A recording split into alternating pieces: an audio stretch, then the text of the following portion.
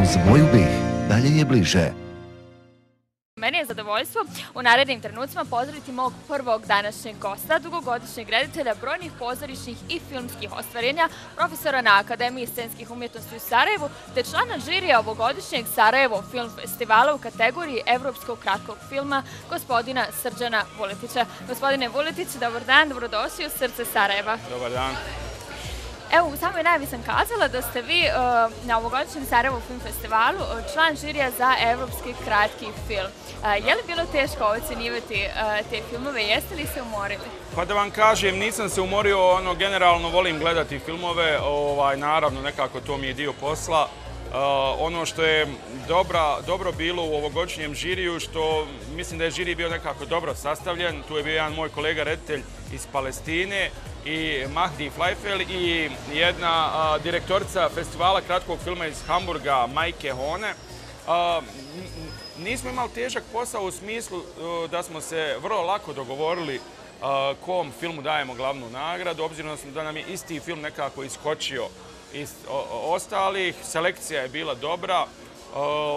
Tako da je bio ugodan ovaj posao, ono što se kaže. Znači, nekako u žirima je jako važno, pored filmova koje gledate, da, da je nekako svi ljudi koji su u žiriju na, na isti način doživljavaju šta to znači dobar film.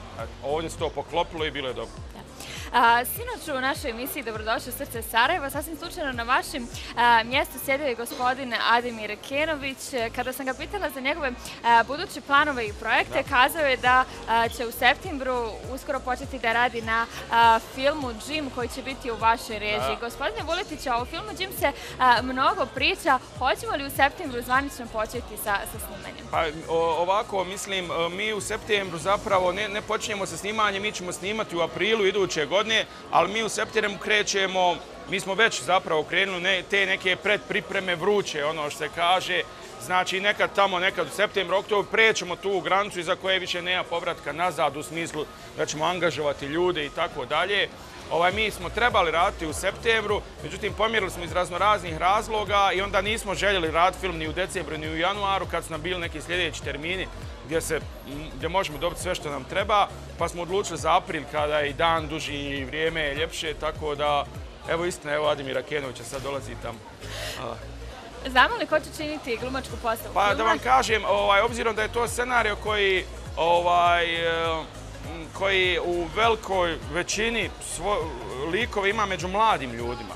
Ovaj, mislim da će tu biti dosta nekih novih e, imena, novih lica ili, ili slabo poznatih lica. Tako da ako vam sad kažem, ne znam šta vam znači imena Kemal Rizvanović, Rijad Gvozden, Lazar Dragojević, Dina Mušanović, tako dalje. Da, sjajno evo što će e, i u tom vašem projektu priliku dobiti mladi glumci. Mnogo mladih glumaca imalo je priliku da debituje na ovogodišnjem Sarajevo Film Festivalu, čak i neki studenti Akademije scenske umjetnosti gdje ste vi profesori. Je li možda prikazivanje filmova gdje oni imaju ulogu na jednom ovakvom događaju, njima možda ulaznice za neke regionalne i evropske projekte? Naravno, naravno. Slušajte, mislim,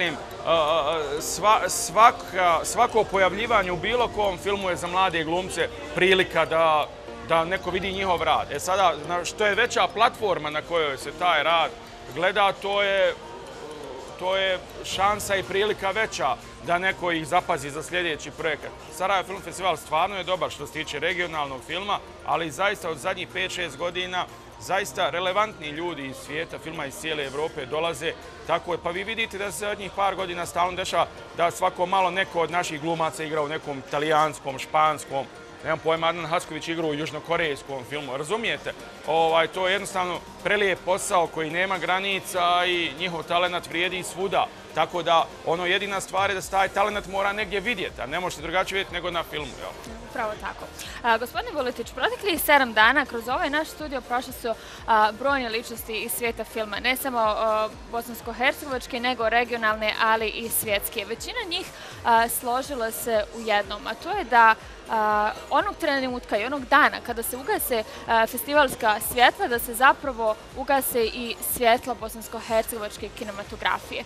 Kakvog ste vi mišljenja po tom? Pa znate šta, ovaj, problem u bosansko-hercegovačkoj kinematografiji je, je kompleksan. Ovaj, prvenstveno, odstvo kulturne politike, odstvo razumijevanja šta film radi za jednu državu, odstvo šta je film za identitet, ne samo kulturne, generalno jedne države. I, ovaj, I to se u stvari samo pocrta ovim, da mi sedam dana samo pričamo o tome i onda posle toga doviđenja. Ovaj, ono što je bitno je stalno ponavljati da je Bosna i Hercegovina država koja najmanje sredstava za film izdvaja. Također je bitno pocrtava da mi nemamo sagovornika među političarima, da, da, znači ne, da, da otvorimo dijalog, da vidimo gdje je problem, zašto, zašto je to ta situacija. Razumijete, mi, mi samo tražimo dijalog, mi imamo svoje argumente i tako dalje. Ovaj, tako da mislim da, da, je nažalost to jedna situacija koja predugo već traje, gdje su praktično svi domaći autori taoci te neke loše kulturne politike, gdje oni vas načinima na koji se finansiraju domaći filmovi zapravo ovaj, prave nerelevantnim u nekim evropskim okvirima. Vi ne možete naći relevantnog partnera, vi ste prinuđeni da idete vani. Dan Stanović snima vani, Jasmila Žbanč živi vani, ja sad jednu seriju dogovaram da je prodam vani, ne, ne pada mi na pamet da je prodajem ovdje, znači pokušavam i tako dalje. Znači jako, jako puno mladi ljudi odlaze. Znači, ako se ne desi e, jako velika promjena, jako brzo, mislim da ćemo imati problem, da mi nećemo imati više bosansko-hercegovačke kinematografije u tom nekom svom klasičnom smislu kao što svi ostali imaju. Vidite ovo, Hrvatska je po broju stanovnika manje više, ima isti broj stanovnika ako Bosna i Hercegovina. Oni samo iz jednog izvora imaju 10 miliona eura za financiranje kinematografije, plus ostali. O čemu mi pričamo? Mi u Bosni imamo milion eura za sve i za kratke i, i dugometražne i dokumentarne i ove i one i podrška ovaj. Razumijete? Mislim, to jednostavno se raspalceliše na toliki niz malih nebitnih novčanih ulaganja da ljudi više nisu sposobni naći dobre koproducente za svoje projekte. A da ne govorimo kasnije o plasmanu i tako dalje. Ali evo kantonalne vlasti su obećale da će u budžetu za 2020. godinu uvrstiti dodatnih 2 miliona konvertibilnih maraka. To je super, to je super. Vidite ovo, jedna takva inicijativa je krenula dugo vremena prije, nekog vremena od, raznih članova istovremeno udruženja filmskih radnika.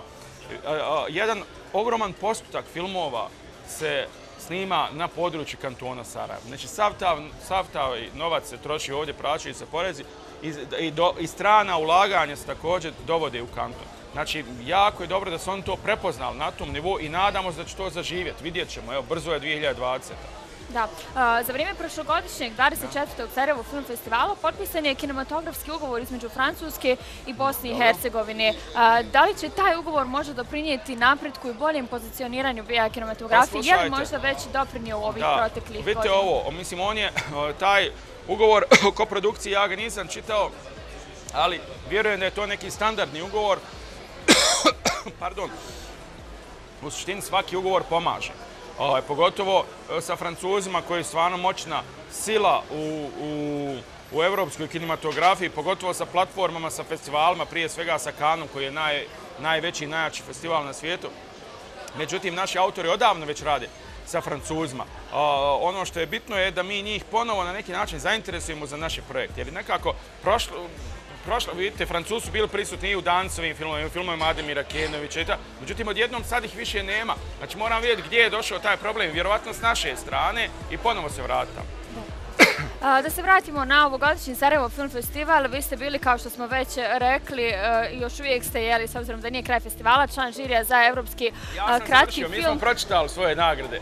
I dodijelili smo nagrade na partnerskim sada. Večera su samo ove regionalne. Hoćemo li onda otkriti ko je dobitnik? Može, može. Dobitnik, znači, znači ovo što je zanimljivo, naš žiri Evropske filmske akademije, nagrada je, nije nikakva plaketa ili nešto, nagrada je zapravo nominacija za nagradu Evropske filmske akademije.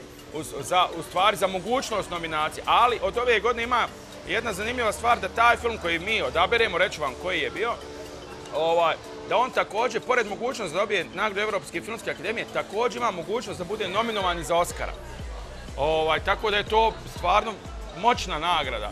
Ovaj, mi smo dodijelili nagradu jednom izuzetno, izuzetno zanimljivom i duhovitom filmu, vjerovali ili ne dokumentarnom, kratkom filmu, koji se zove Pretjerivanje će nas spasti, koji govori o jednoj jako važnoj temi, ovaj, polarizacije i radikalizacije društva, pa čak i u zapadnim zemljama koje su razvijene i tako dalje. Dakle, radnje filma je smješteno neko malo francusko selo i ti ljudi žive u strahu terorista, mada niko osim Francuza ne, ne živi tu i e, izuzetno, na izuzetno originalan način se govori o problemu radi- radikalizacije. Tako da mislim da, ovaj, da, da, da smo dali nagradu prave ruke. Gospodine Vuletić, evo za kraj razgovora možda da čujemo još e, na kakvim projekti- projektima ćemo vas u budućnosti moći gledati. Evo već smo pomenuli film, Jim. Jim, jeste? Serija, ja pišem seriju, neću je režirat, pregovaram to sa jednom mađarskom kompanijom da oni dalje nastave to da razvijaju. Uh, jedan projekat u Crnoj Gori ovaj, razvijam trenutno i razvijam još jedan projekat tek je u povojima u Sloveniji. Gospodine Vuletić, hvala vam mnogo što ste izdvojili Hvala vaše vrijeme da budete dio naše Hvala. emisije.